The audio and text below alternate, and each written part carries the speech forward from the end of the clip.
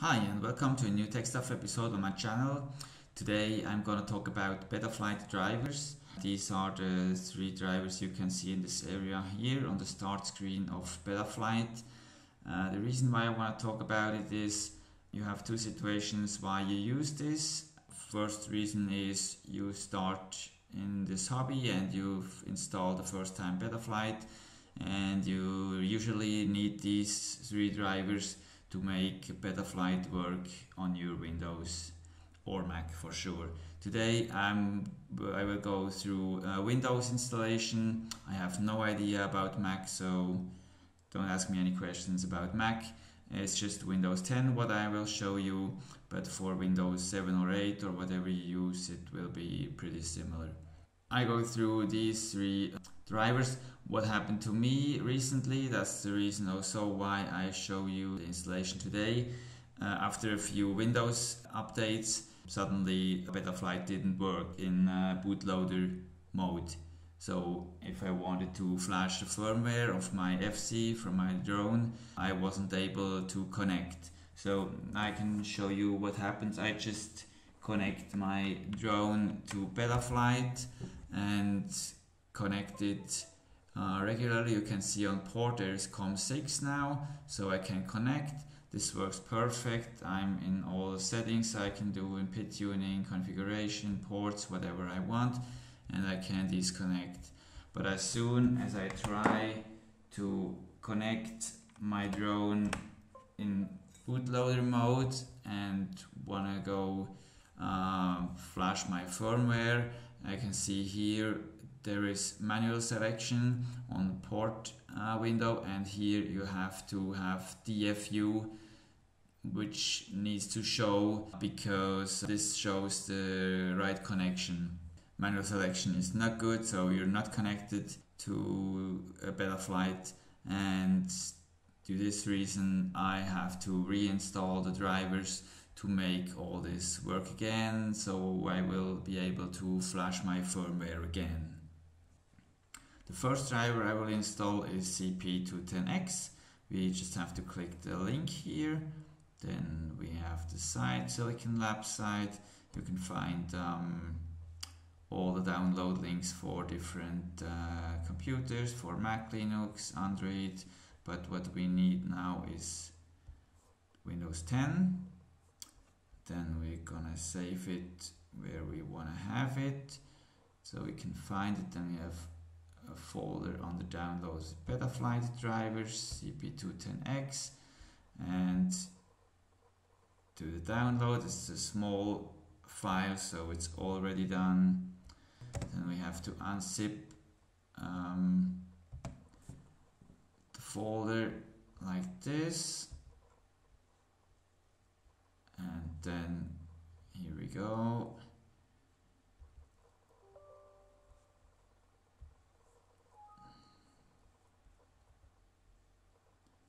Okay, now what I did wrong is I didn't take the 64-bit version, so it's the other link if you have 64-bit uh, version of Windows you need to click this link here, go like this, okay.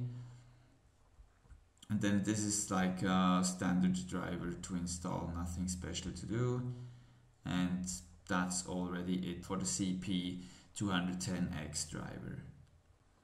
Second driver we will download is the STM USB driver.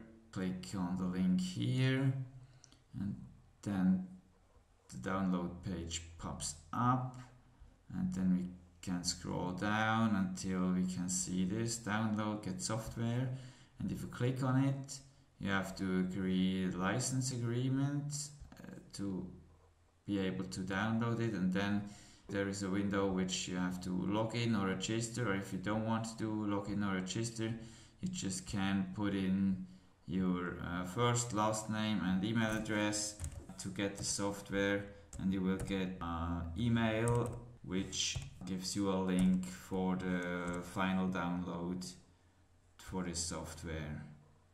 So here's the message.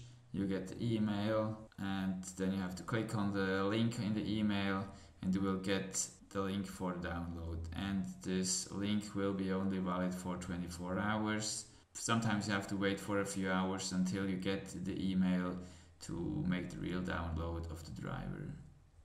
So after you got the email you have to click on the link and then this window comes up and you don't need to click anything the download starts automatically and as you can see the download already happened and that's all for the download for this driver. So we can close this window we can go for the driver this is it and then we just place it where we want to have it.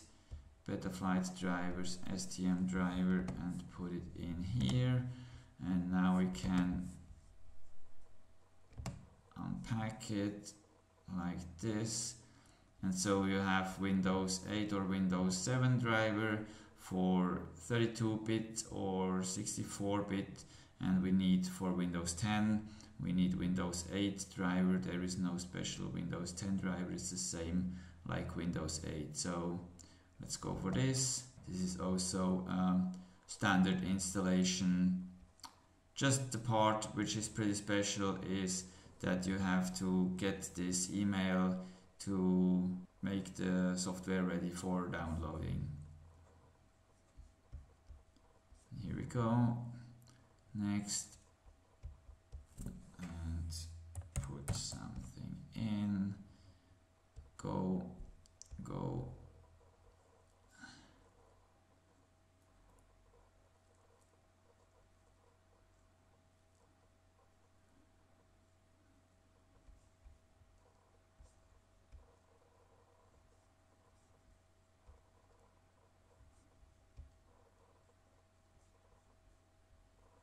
then that's all. Just always go on go on finish the installation and that's it. The last driver we use is the Zadig driver which we can get at the link here. Then you come to the Zadig side and it's the latest version you can see here 2.4 just click on this and so we're also gonna save it so we have all the drivers where we want to have them but it's not necessary to do this. You can also uh, start the installation directly without saving on a located place. And now let's start the Zadig now the most important step is a bit special. To finish the installation you have to connect your uh, FC from your drone in bootloader mode to the computer. That's very important because the Zadig has to detect your FC in bootloader mode. And for this we just after connecting I just connected it. And then you can go to options and click on list all devices. And then you have to search for your device and here you can see STM32 bootloader make really sure that you take this one not anything else because if you take anything else it's possible that you damage some other drivers on your computer. So select STM32 bootloader like this and then just click replace driver. And once we have done this I have to wait.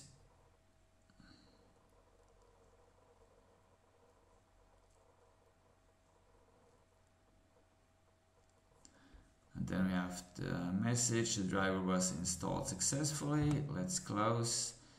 And here you can see now the driver is identical on both windows, so that means the installation was successful. Now we can also go to Betaflight and have a check if this all worked. So I just rebooted uh, Betaflight and now I'm gonna connect the FC to uh, Betaflight and here we should have instead of manual selection we should have DFU let's have a look if this works and here we go. And as soon as you as it switches to DFU you're sure that everything is fine and you can go to firmware flasher and flash your firmware as you want to have it. You have the 14EF4 on it and then you can choose your current firmware you want to install and go on as known. That's all for today. I hope you liked the video. Give me a thumb up if you like it and don't forget to subscribe. Happy flying and bye bye.